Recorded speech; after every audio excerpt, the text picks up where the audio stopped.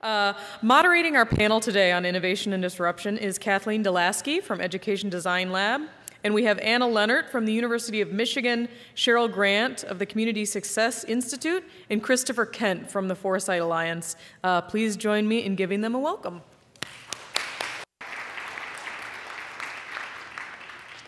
Thank you all for staying for the last panel. Uh, your gift cards will be waiting outside. Uh, we didn't tell anyone until now. No, uh, it's really we really do appreciate it. And this is the future, so hopefully we can um, uh, leave you thinking about uh, things besides uh, besides who who will have a job in the next decade. Hopefully we all will. Um, uh, so I'm going to start off with the, the question, the aspirational question that um, I uh, was asked by Connecting Credentials uh, and, uh, uh, and the, funded by the Lumina Foundation um, uh, work groups last summer. I co-chaired a work group where the, the sort of the design question was, how might we build a world where, where people can be hired for what they know and what they can do rather than who they know and where they went to school. And if we kind of set that as our sights of, of what we're trying to get to, and we'll have a poll question in a minute about the, um, the credentialing, the, uh, the, the competency-based hiring, uh, how far off is that? So be thinking about your answer as you, as you talk to folks. Um, because the fluidity, we have an interesting panel because two of us are really going to be talking about the future of work, and two, and two of us are more broadly about credentialing. I would say. So um, we're going to start with the future of work, folks. Everyone is going to sort of give a, give a few minutes uh, overview of their work and their impressions, and then we're going to really try to have a conversation here that will include, include uh, everyone in the audience, hopefully. Um, but so be thinking about, uh, about your questions. Um, we're going to start off, and we're, uh, we're not going to do formal introductions because you can see who we are up here, and our descriptions are in the, are in the book. Um, we're going to start off actually with um, Christopher Kent, who is going to give us uh, a few of his, uh, what he's learning about future of work and his work, Foresight. Thank you, Kathleen. Can anybody? There we go. My name is Christopher Kent. I work for a futures and foresight consultancy here in Washington, D.C. called Foresight Alliance. Um, and our interest in the future of work was sparked about three or four years ago. Uh, the Rockefeller Foundation came to us uh, with a pile of money and said, we'd like you to do a report on the future of work, and we're not done. We said, sure, we'll do a report. and so for the last three or four years, we've been looking into the future of work. And I should take a step back. What my firm does is we look at the forces of change that are driving, uh, driving uh, either uh, an industry or a sector um, for our, you know, whoever our clients are. And our clients are uh, both uh, nonprofits and for-profit uh, organizations, and we help them to understand what's driving those forces of change, how they can take advantage of the opportunities and challenges that these uh, changes present. And so we did a, this, what made this report on the futures of work for the Rockefeller Foundation interesting to us to do, um, besides the money, uh, was the fact that they were interested, as a philanthropic grant-making organization, they were interested not just in the future of work as you see it in glossy business magazines today, which is white-collar knowledge work. You know, you can take your laptop to the beach and work from there, and uh, you can work all hours of the day. What they, as a grant-making organization, they were very concerned with what the changes uh, that were occurring, were how they were going to impact the entire workforce, and particularly what they, that, that uh, they termed uh, the poor and vulnerable, because they tend to get overlooked when uh, big changes happen. And so um, I can't go through everything in the report. You can find it on our website at www.foresightalliance.com. It's free to download. Um, so I just want to hit some top line ideas that uh, are affecting or driving the, the um, the changes to work and how, how it's uh, helping uh, work evolve to the future. And this conference has made this presentation a lot easier because it's validated a lot of what we said because a lot of what I'm going to talk about we've already talked about today, which is, which is good. You guys are already thinking ahead. Um, but the first thing uh, that, is, that we looked at or that we thought was interesting or important, particularly for this group, is work is becoming more and more atomized, that it's no, you no longer have, as we all know now, the graceful 20 plus year career at an organization, at a job. Um, you're most likely going to have a number of jobs over the course of your career. But within that, uh, jobs are becoming atomized. It's being sliced into, you know, jobs are now becoming work. Work is being sliced into tasks.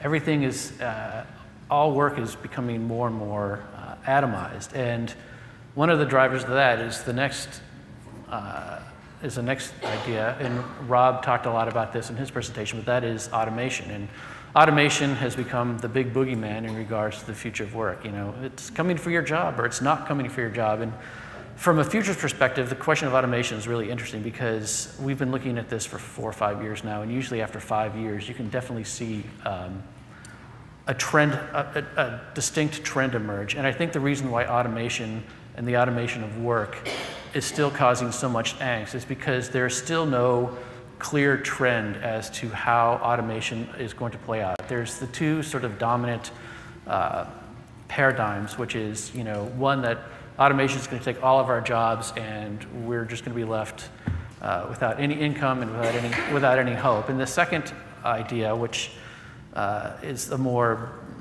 less dystopian, more hopeful idea, is that, um, and Rob talked about this previously, that automation will eliminate sort of the uh, monotonous, low skill, uh, low knowledge jobs um, leaving the higher skill, higher, higher empathy, higher paying jobs uh, for human workers. And so uh, the, the result of that being that we'll all be working better jobs and automation will be, take, will be taking care of all of the, the monotonous, terrible, boring jobs.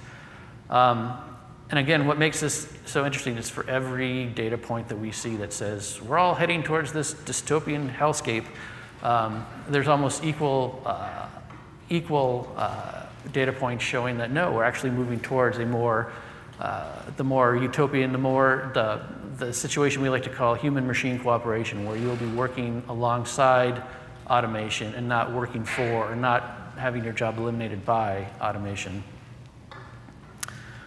Another uh, interesting idea that has that cropped up in our research, and it's sort of been talked around a bit today and yesterday um, in regards to sort of trust and authority and authenticity is the idea of reputation.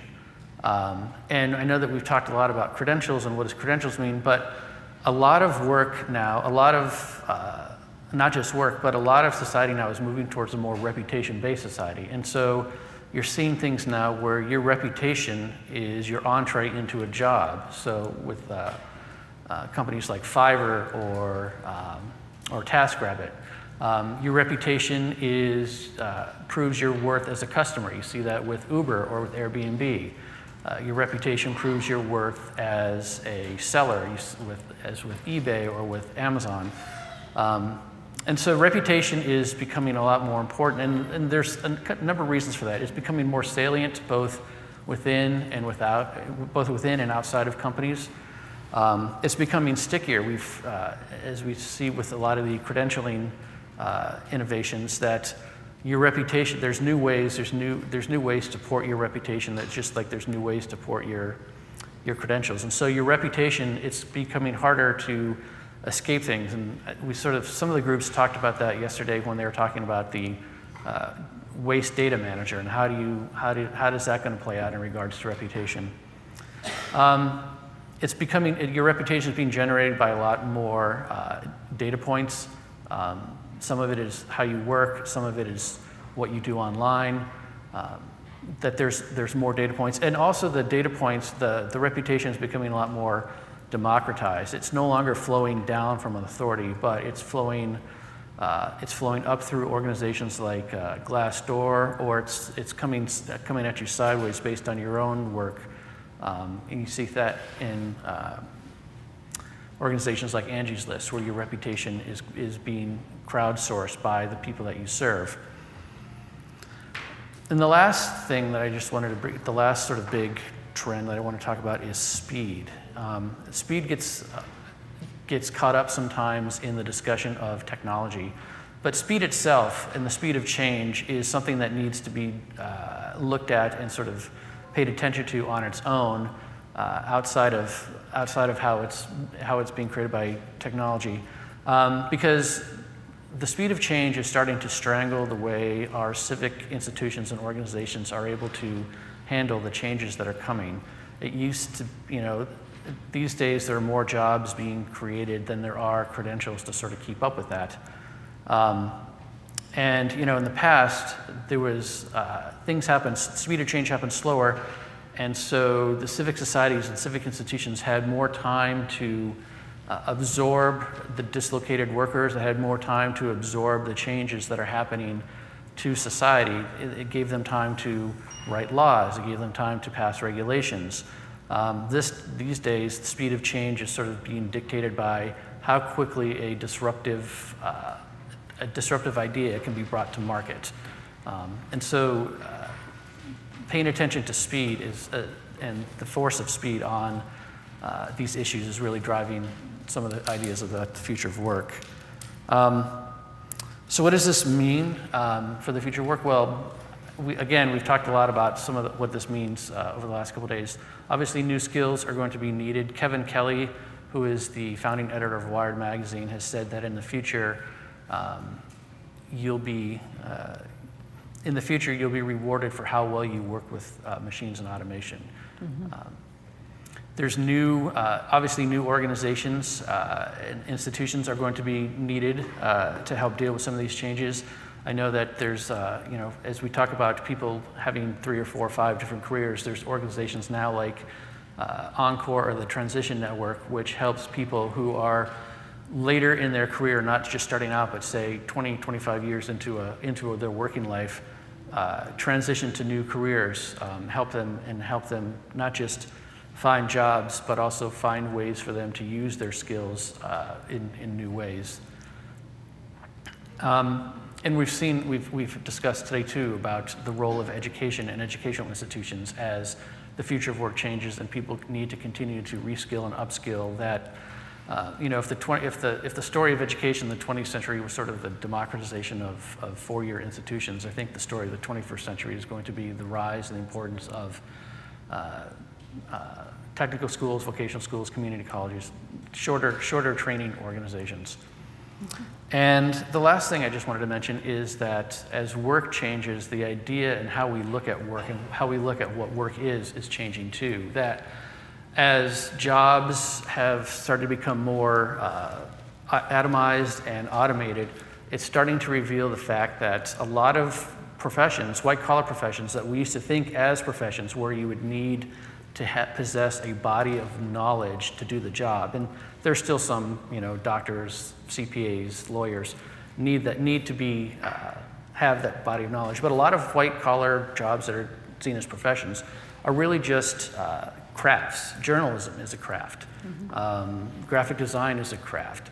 Um, and so as this realization sinks in, you're going to see there, there's a good chance that you're uh, you don't need to go to a four-year school to learn these crafts. You need to go to a, uh, a two-year school or less, or a, uh, a, training school to get the accreditation to prove that you have the skills to do the job and not to, to show that you have the body of knowledge uh, that you need to do those jobs. Great, well thank you, Christopher. So to set up, um, Anna, uh, you said something, Christopher, that, you know, the, the, first, the first point you made, that we're either going to have, uh, you know, there's the paradigm that automation will take away all of our jobs, and then there's the other utop more utopian paradigm that will, the jobs will be higher skill and will be working alongside robots. Um, I guess the question, the big question is, what about the people that don't have the higher skills? And I think, and, and what happens to, to them? How, you know, education is not currently set up to really solve for all of those people.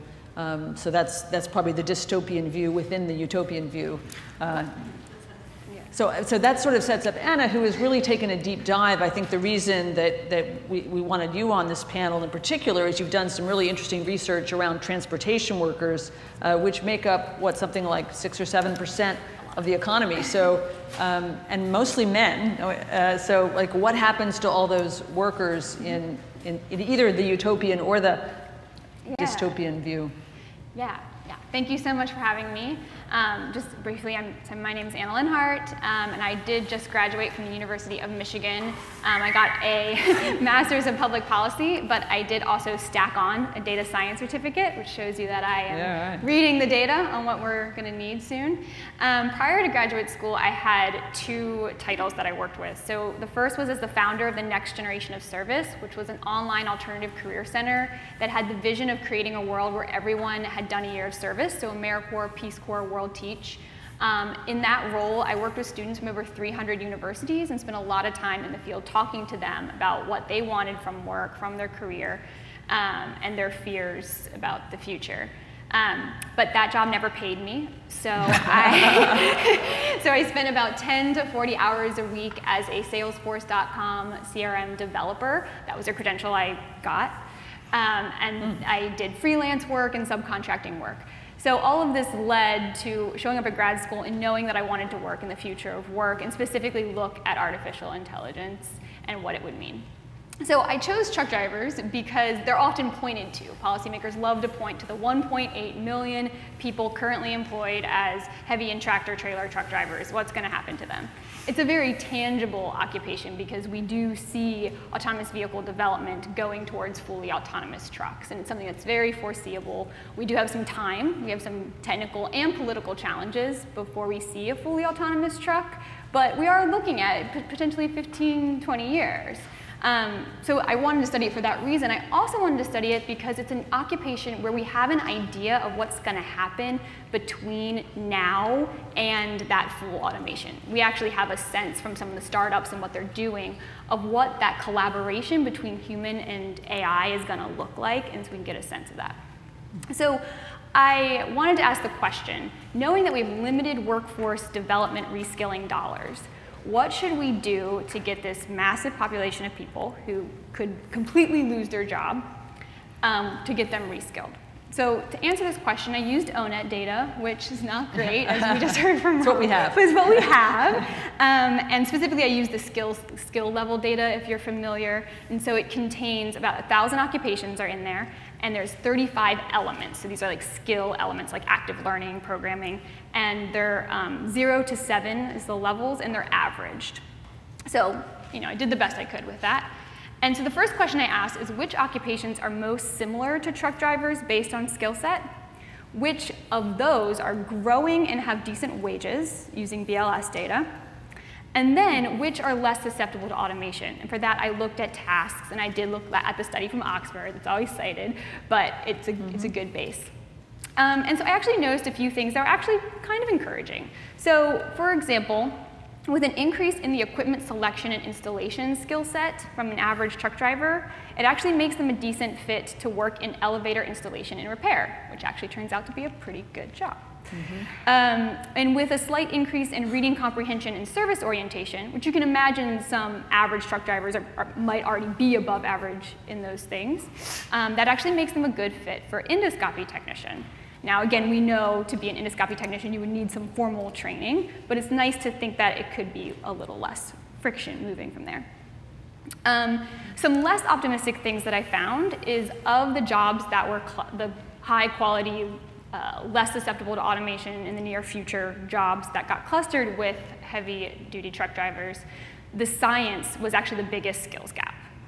And that's slightly more concerning because science is not a skill that we can easily in six months kind of give you, right? And of course, ONET doesn't break down what science means very well, but it's still, we can imagine it depends on a pretty strong foundation in K to 12. So I think that's something that's important for all of us to keep in mind. Um, so the next thing I did is I really wanted to look at the evolution of truck driving. So what are we seeing? And we're seeing a couple trends that I think um, are interesting for those of you working in credentials. So the first is the idea of platoon driving. So this is the idea of you have a caravan of drivers. You have a driver in each truck, but only the first driver is driving. The other trucks are following along using technology and, and autonomy. Um, the drivers in those following trucks are doing logistics work, they're napping, waiting until their truck is in the front. And they also could be using that time to watch an online course, um, listen to a podcast. I mean, I think there's some creative ways we can think about building skill making into this job that's, that's monitoring. Um, the other trend that is being tested and we will likely see in five, ten years is remote driving on, for highways. So autonomous trucks on a highway uh, waiting to get to the city where they'll have a real driver that does the driving within the city. But that autonomous truck on the highway is being remotely monitored and uh, even, even driven um, by someone in a warehouse like a video game, using like a joystick. And you can imagine building in some gamification techniques. We heard Joanne mention this this morning. There's a lot you can do when you're in a video game type environment. Um, so you can imagine building skills that way too. So it's a little out there, but I think if we think about how jobs are going to slowly work with AI, what opportunities uh, exist there for reskilling on the job during that work with AI, if, if those exist, um, and really thinking about kind of the monitoring skills and the other things we expect to see as we collaborate. So who's responsible, who should be responsible for that on-the-job yeah. retraining? Yeah, I think that's the, the really interesting question. I think the way I imagine it is I think as public, the public sector and policymakers in the government should have a almost an agreement with industry. That is, we will get every young person in this country to age 18 with high level of reading comprehension, really good science skills, really strong base, um, and also some of these very, very important people skills and empathy and things that we've been talking about too. We don't want to underplay those. And then at that point, you know, hopefully that foundation will be there for quick reskilling. And I do think there's going to have to be some incentives in place for industry to do a lot of this mm -hmm. if they can. And so, yeah. Okay, thanks. So, I, so I'm going to go next talking about what the Education Design Lab is doing. Uh, we, uh, we're a nonprofit that's been working for about five years in testing new models um, in higher education. And we really take the philosophy, um, like Don was mentioning, and the, I wish I was from the show me state. Uh, we're really about, uh, uh you know, let's, let's begin to learn by doing and let's start to let's start to put some of this stuff out into the wild and, and see what happens and learn from it and build on it. And so we've been doing that with digital credentialing, and we decided to start with uh, 21st century skills, um, partly because in working with universities, um, it was open territory, right? Uh, there was nobody was um, telling us not to do it. Uh, because um, uh, you know it, it, wasn't in any of the silos of, of a major or a discipline, and it was certainly areas uh, around informal learning and working with universities where they felt like yes, we need to figure this out too, um, because we see that the skills gap that employers are complaining about is largely the skills are you know things like um, I've got the uh, let's see I can show you uh, I'll come back to that. It's you know these are can you all see the actual badge names? So we, we began doing, we worked with um, this is the first slide shows the number, oops, the numbers of, of, of, universities that we worked with. We're now working with folks well beyond universities, you know, high school districts, um, schools and uh, workforce development programs in Africa and uh, um, a lot of uh, workforce and even some employers. Uh, but this is sort of the, the, the, group that we've worked with over the past couple of years uh, to just really test and uh, prototype 21st century skill badges, really trying to answer the question um, you know, that, I, that I mentioned at the beginning, but um, more specifically, will a 21st century skill badge for a community college student, a truck driver, uh, could it get them through the filter? Because you know, a lot of hiring now is done through online filtering where it's keywords, and if you don't make it through the filter, it's not a question of what to bring to your interview. Do you even ever get to that stage? So we, we were really trying to experiment with can we help level the playing field with 21st century skill badges, which you know, might become more important in many of these jobs. Um, when you mention collaboration, for example, um, I'm thinking, oh, maybe we should do a badge on machine collaboration. You know, we, we think of it as working in teams, mm -hmm. which mm-hmm. certainly gets cited uh, as, um, as, as one of the, you know, probably the biggest ones that employers are expressing interest in here uh, as we're, we're working with employers are oral communication, creative problem solving, collaboration, and maybe critical thinking. But resilience and empathy are also ones that have been, you know, we have found a lot of take up on. So we just rolled these out um, to, to the public and we decided to, because we're hoping that they can create a framework uh, for, we have, you know, each badge has four sub-competencies and a badge earning process that includes um, includes uh, you know, a, learning, a learning component, a uh, practice and reflection component, and assessment. Uh, and, and, and then we have learning outcomes for each of the sub-competencies. We've now put them out there. They're on our website. In fact, uh, a number of you have come up to me today and said, you know, we're, we're, in, your, we're in your beta group. Um, so thank you for that. Um, and Credly is, is, has been working with us, but we're, we work with all the platforms. Um, so we're, we're really trying to now take it to a larger scale uh, and see if we can get, um, uh, now the next step is to really get employers who have been working to design with us, but the next step is to get them to try to um, actually say, yes, we'll take a first look at students who have been badged. Um, I'm going to skip this slide um, to say, th these are the kind of comments that we're getting from, um, or the self-reporting that we're getting from students. So we really started out trying to think of this as an employer play to help employers have a way to screen students. But what we found is that the badging process itself has been so useful to students to even understand and articulate their skills in this area that um, you know even if, it, if we can't get employers to go after it we will i mean a lot of schools are wanting to adopt it anyway because it's a great way to help them capture the new language of gen of what gen ed needs to be doing um, and so we have a lot of people kind of working these uh, these um, uh, this framework into their gen ed redesign um, I wanted to show this slide. Um, so how many of you are familiar with the T pro, uh, the idea of the T-shaped individual? So we, there's been a lot of discussion. Oh, not very many of you.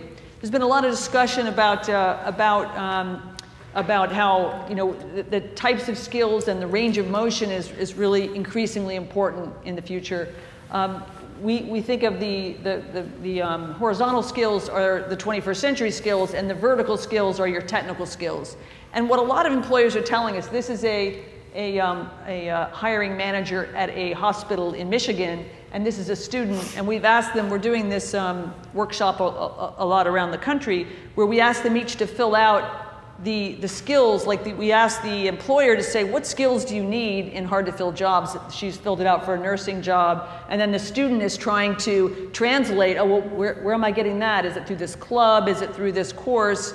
Do I need to earn a badge? We're trying to work on translation across um, the 21st century skills. And then, you know, our next step is to build a, you know, some way for people to have like a dashboard. So that's, uh, that's part of our, you know, 2.0 version that we're looking at. But we are getting a lot of really positive feedback from employers through this um, campaign that we're calling Tee Up the Skills. We have an advisory board and, that, and, that's, uh, and, and that's going really well. So I'll just sum up to say that we're learning a lot about, um, about the use. We, you know, LinkedIn has done reporting saying that if you have a badge on your um, LinkedIn profile, you have six times more you know, click through um, and, and visibility for your LinkedIn profile. And we feel like the next step is really, um, we've really got to have proof points uh, from employers uh, in order to really dr drive to the next level of adoption. But I'd be happy to talk to you. I've got a, uh, end on, that's an example of a T profile.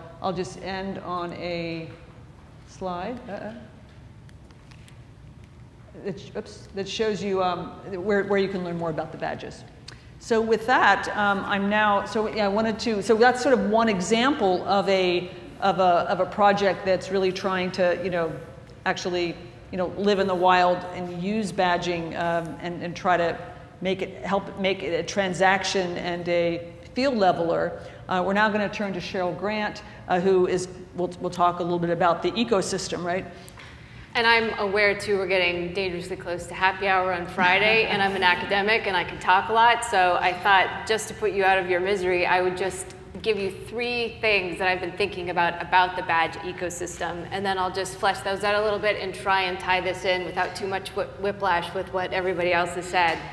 But, um, and, and I wasn't here yesterday. I think yesterday I would have been able to sort of characterize this in a, a, way that really captures what you all talked about throughout the whole conference. But bear with me, there, this might be a little disjointed, but these are my three points. the first one is, to me, the most revolutionary thing about all of these conversations that we're having, it does, it, it's gonna sound super boring when I say it, is that the learning content that is getting a credential is smaller than a course unit. That is the most revolutionary thing about everything that gets talked about. And I find mostly when people are having this conversation, we've been talking like this for a hundred years. I mean, ever since there's, if you want to look at the future, you look at the past. And where I used to work at HASTAC, we worked with a lot of humanities. So shout out to anybody who has a humanities degree, where we would look back at some of the, the ways that people were standardizing in the late 1800s into the 1900s, and it is exactly the same conversation. It's recognizing that the more value you put into something, the harder it is for people to get, so you get fewer people who get it, it turns into an elite thing. How do you get universities to buy into something that's actually chipping into their bottom line? All of those conversations, we're doing it all over again. But the one thing that does feel revolutionary is this piece, this tiny piece of learning that gets a credential that's smaller than a course unit. That is the big takeaway. Those are the, that's the clickbait right there. the, the second thing that um, I find really interesting about this work is this is the first time in human history that our reputation is tethered to a proprietary platform. Hmm. So it is true, like you were saying earlier, Christopher, that reputation is a really interesting part of this conversation. Credentials are a type of reputation, they're a very special kind of reputation. But this is the first time that's been tethered to a proprietary platform, and that is a huge problem.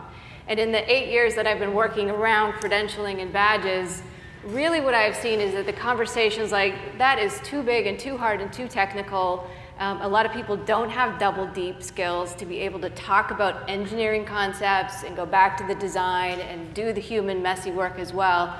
And so as a result, there's kind of been this cleaving that has happened where we're just hoping that, that Credly and other platforms like it are, are taking care of the things that we, we talk about when we say ecosystem.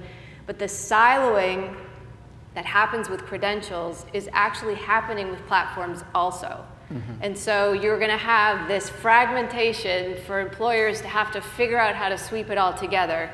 And this is not necessarily an endorsement of a company, but I will say the one company that I think might be doing this, and of course, proprietary versus open source is a big conversation here, but the proprietary platform that seems to be figuring this out is sort of taking the LinkedIn model and allowing badges to come into it. So it's that granular piece of learning, the quick thing that you can pick up to pivot and to adapt to a job, whether you're driving in a truck while you're in between naps, which is like such a great idea. Um, so that's the second thing. The third what, thing. What's the company? Pardon me? What's the company? What's the company? Like, you talked around it. Portfolium. Oh, Portfolium. Oh, yeah. Portfolium. Yeah. Um, and what I love about the way that they work, and, and I have a feeling if, if there isn't competition already that it will start soon, is people are sort of trained on LinkedIn right now. There's um, a woman who wrote a book called Down and Out in the New Economy, Ilana mm-hmm. Gershon, if mm-hmm. people have read that. And she did not go out to study LinkedIn, but that's what she ended up studying because she was looking at recruiters and human uh, or um, HR departments, how people are getting jobs, and it was all going back to LinkedIn. So we are kind of culturally being trained to think about jobs in terms of LinkedIn, like it or not. And so Portfolium has a portfolio, it's free for students, it's nicely designed, the user experience is really nice. Schools can buy it so that they can um, look to see what their students are saying about their soft skills in order to, I think if I'm not mistaken about the company, the way it works is that you have to tag your soft skill with evidence. Mm -hmm. And then you can also slurp up badges, and there's a machine readable component to this and algorithms, and then employers can come in. So it's like the whole ecosystem in this, this little package. Um, the third thing uh, and this is just a personal beef that I have, is my concern is that going forward that the people who are really good at getting credentials are going to get really good at getting more credentials. Mm -hmm. yeah. And so the equity piece is yeah. huge. And it, in the very beginning of this conversation, I felt like we talked a lot about it more, that it was on panels more, that people were we're trying to figure out exactly how do you how do you think about it this way and i don't know if it's such a difficult problem or it's a difficult thing that people don't talk about it as much but i know in some of the communities i go into that's the last thing that they are talking about is a mm-hmm. badge and, and trying to create a culture around understanding badges and whatnot. So it's just a big concern that I have that, um, especially when you are talking about platforms, because the engineering decisions you make, and you would be surprised if you do not have engineering expertise, Once you get a little bit and you know how to talk to, ex- uh, to, talk to engineers or to look at what they're, they're designing, you can see how a small decision can make a huge difference in a user experience.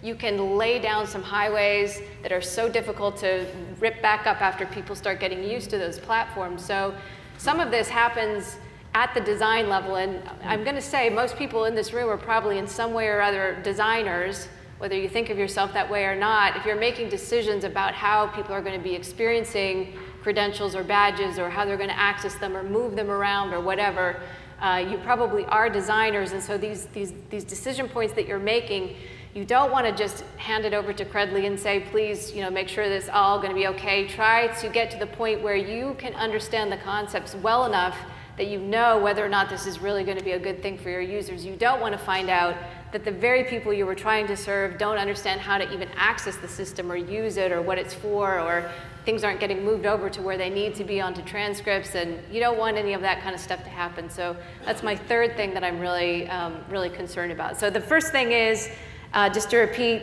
the revolutionary piece is the size of the credential mm -hmm. because you can pick these things up so quickly. And, and I know that there's a lot that goes into that design of that credential. I'm not making light of that, but it does feel like we end up talking a lot about that, that sort of vertical stack, I think, of value for that. Um, but the other piece is also that our, our credentials are getting tethered again, just like other reputations. So to me, there's like this new thing that, that's happening, and we're just making it worse at the technology level. Um, and then the third is my concern about um, people who are good at credentials becoming excellent at getting more credentials. Um, and I don't know if I'm close to time. Am I okay with time? Mm-hmm. Is this? you went like that. Like this. I'm going to stop there. I've got a whole bunch more to say, but again. Yeah, well, you actually, it's good. You're, you're like dusting up a lot of, a lot of interesting fodder. Yeah. Um, so the first thing that, I, that I would ask, and we, we've experienced this ourselves, is who are the trusted agents in this new world, if not platforms that are you know, social mission for profits, um, which are providing the platforms and, the, and often the content. What, uh, who do we turn to? I mean, we're trying to figure out, for example, at the lab as a nonprofit, who should our issuers be? Who should our new accreditors be for these small units that you describe?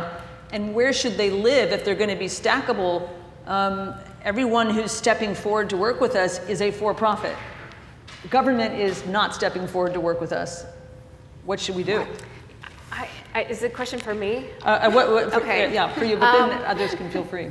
Well, one thing um, I'm really curious about from like a design perspective is we never really went out and said to students like, how do you share credentials or how do you think about sharing your credentials or what do you what do you think would be valuable or how do you want to use there's such a desperation about getting jobs or like moving to the next thing but i think you i think education design lab i'm not saying that just because you're sitting here does a fantastic job of talking to the students your students your group your local group. How do you how do your students think about sharing this I know for teachers, for example, for them, they only want badges. This is what the research says anyway. They only want badges to show up in their professional email signatures.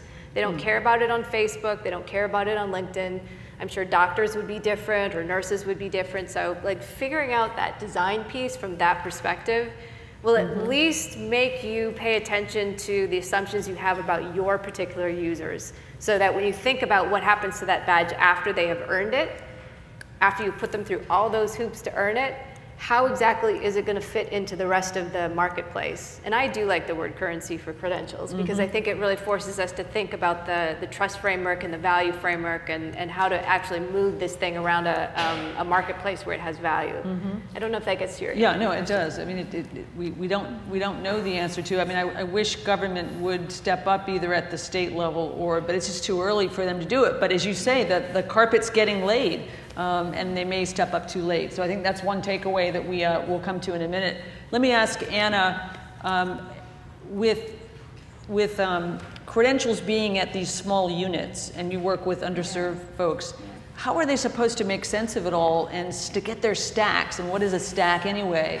Yeah, yeah, no, I loved your last point because I think it's very true. I think people who you know, are good at getting credentials will just go out and get more. And so I, what I like about the idea of in fields that are becoming automated, if there is a space for people to be able to study during downtime, Um, one thing we're seeing, just to kind of back up a little bit, is monitoring is a skill that is becoming more and more important. We saw it in pilots over time, right? We know most planes fly themselves and the pilots sit there and they read the Washington Post. We know that they're allowed to read the Washington Post.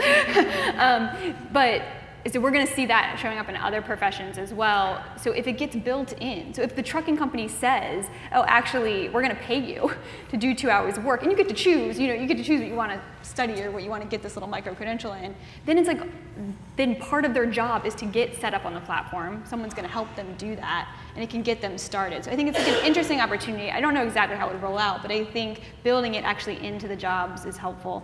Mm -hmm. um, I'll also really quickly comment just on working with young people who are freshly coming out of undergrad. Sometimes it's just coming out of um, their community college, they really want experience. Mm -hmm. They're okay with these badge things. They're waiting for it to shake out. They're waiting to see which ones actually matter and get looked at. Mm -hmm. But more importantly, they know they need to get experience. So that's why they come to my door. I want to do AmeriCorps. I want to do Peace Corps. I, I want to do something with these classes that I just took so that I can put them into a portfolio, so I can put them through a badge thing. I mean, even if they're not saying that, that's what they're kind of telling me. Like, I want to do the thing.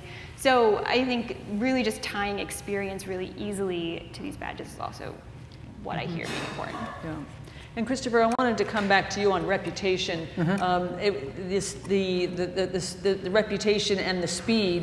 Um, when you were describing how people may not even realize how the reputation is suddenly being affected by you know, ratings or, or whatnot, it, it made me think of a credit score. Uh, yeah.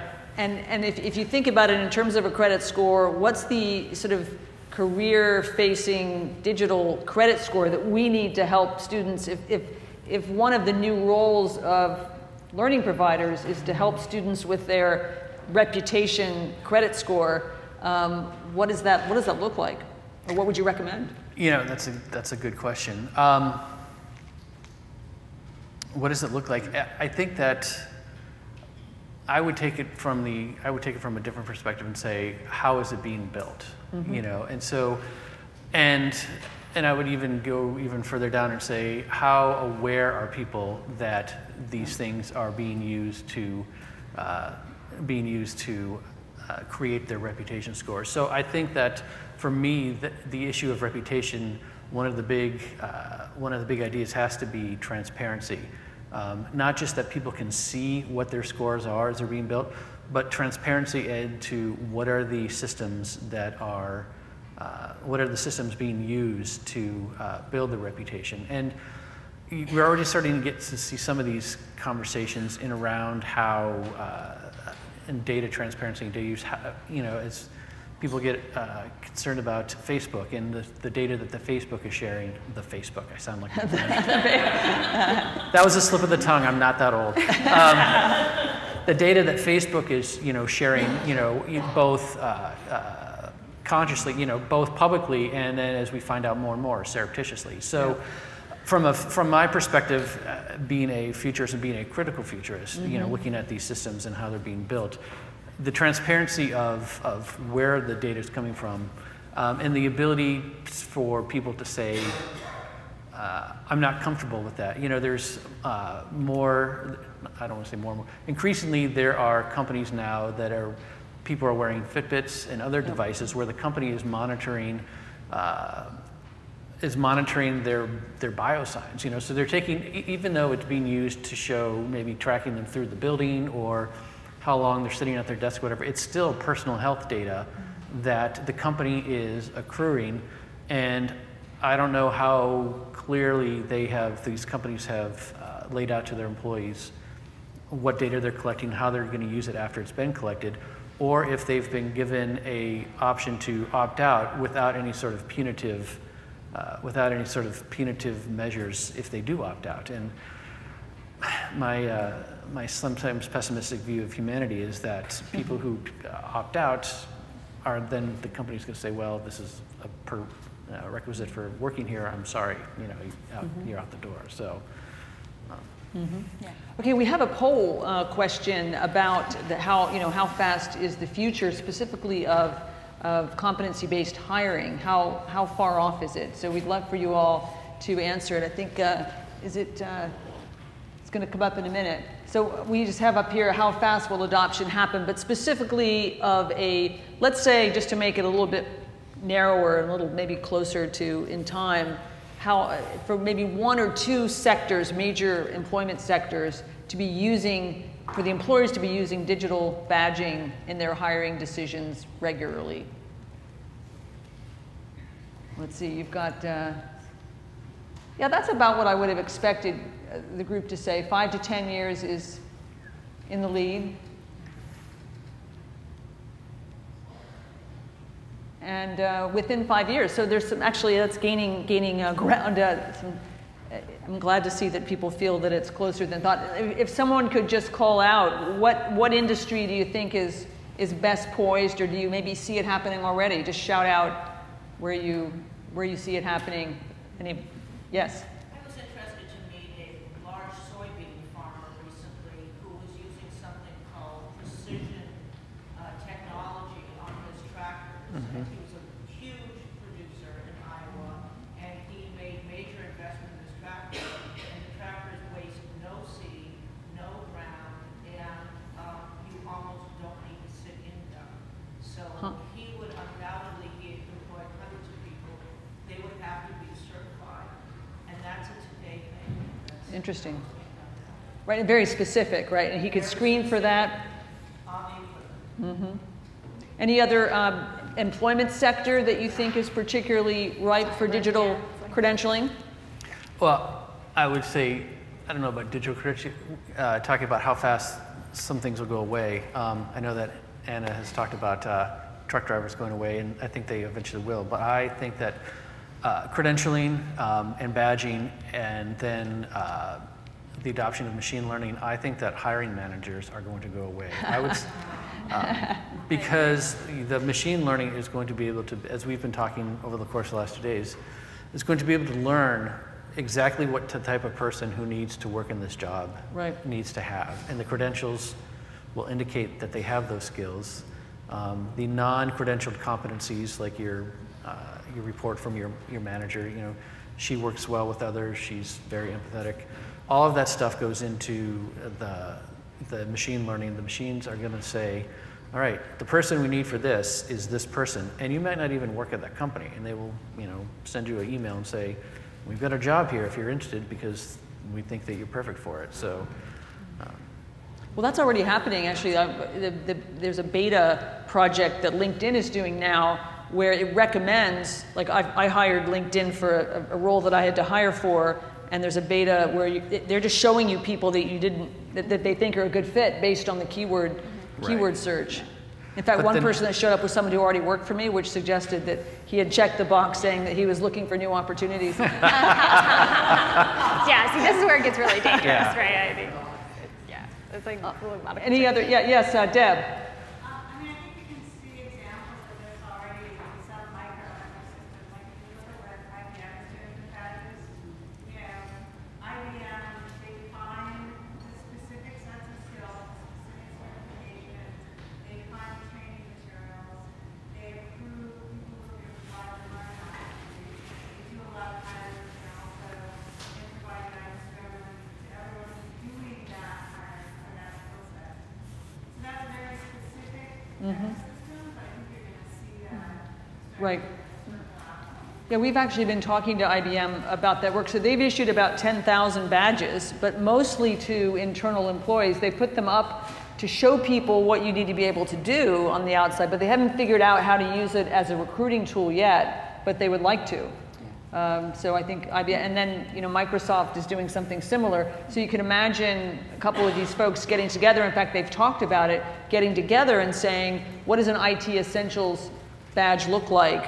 Um, and if we endorse people who have this, we don't care what school they come from, if they if they can do these things. So that's that's kind of exciting in a way as a, as a field leveler to think about. Yeah, I would say IT is definitely where it's happening. The minute I got, I had been working as a Salesforce developer for three years and then sat for the exam, and then uh, LinkedIn has been nonstop ever since in terms of just recruiting emails every other day. Um, so there, these are the credentials and the badges that already hold so much weight are in these like Python, R, Salesforce, AWS. those ones I think are already almost there. I think cybersecurity is a big one. I'm watching a lot of companies hire people sans degree, but they have these certificates in cybersecurity because it's so high demand and the certificate program is well fleshed out. But again, making that a micro-credential or a series of micro-credentials, I'm not quite sure yet. But. Yeah, I think uh, hospitality. Also, we're doing some work in, in Washington D.C. Uh, with with hotels who are saying I mean, they're actually doing like the T profile that we created and saying that we, we only care about oral communication and empathy. That's it. everything else we can teach them for a front desk clerk. Um, that's um, you know so there, so we're doing a boot camp uh, with um, adult charter schools around just those just those uh, skills. Okay, so we have um, just a few minutes. I want to do like a, a, a quick round with the um, panel and then also invite people to join in with this, this question, which is, if we were going to do a little design session here and say, what needs to be true for this system or the ecosystem to develop, for the carpet not to get laid in a way that is, is um, you know, is um, un, you know, unchangeable and, um, and, and maybe our dystopian future what, what needs to be true? What, what are our design criteria for the ecosystem of the future? Um, I think you said one, which has to do with you don't want proprietary systems, right? Because that was. Oh, I, I love proprietary systems. I, I'm all for proprietary systems, but the badges have open technical standards in them. They're supposed to be able to push out. And a lot of the platforms have not put a lot of emphasis on that. So it would come from you saying to them, it's really important to us that our students can take this wherever they want and export them. And that's just a super geeky part of this conversation. So portability, is that? Portability, yeah, portability. And, and you know, I love Dawn, I don't know if Dawn is still here, she was talking earlier about the, the Missouri Winds project, but I love the way it was such an elegant design approach down to the MOUs, the data mm-hmm. sharing agreements. I mean, this is all heavy lifting stuff yep. that is so important. So if it is going to be a, a it has a, it does have perimeter to it. If you're going to be working in something that has a perimeter like that, like in a system, those, that's where the unsexy stuff is really, that's where all the hard work is and where it actually, that's interoperability because mm -hmm. it's mm-hmm. humans recognizing we're going to accept this, including if you don't have a badge. Right. Or if you've earned it in some other way. I mean, I would hate to think that these platforms come and sweep your data and they're only going to pick you up if you have checked that box or if you have that badge or whatnot. I mean, it should be okay that you have these soft skills without a badge, that you can convey it in some other way. So some of it is I prefer, I mean, I like that the badges have the open standards so that they can be pushed out and that the platforms, they actually do that and that everything is all good techno technologically, but I do really also like these ideas of trust frameworks. This is the, the work that the Community Success Institute, where I am now, that's really what we're looking at. There are no trust frameworks in education that come close to what we have in the finance sector hmm. or what we have in the public health. Public health is still a little bit unstable, but I would love for a conference like this to bring in experts from those fields to talk to us about what what it's like to actually build something. When you think about money, you can use Apple Pay, you can use chips, you can use uh, magnetic strips, you can look at it through Mint, you can,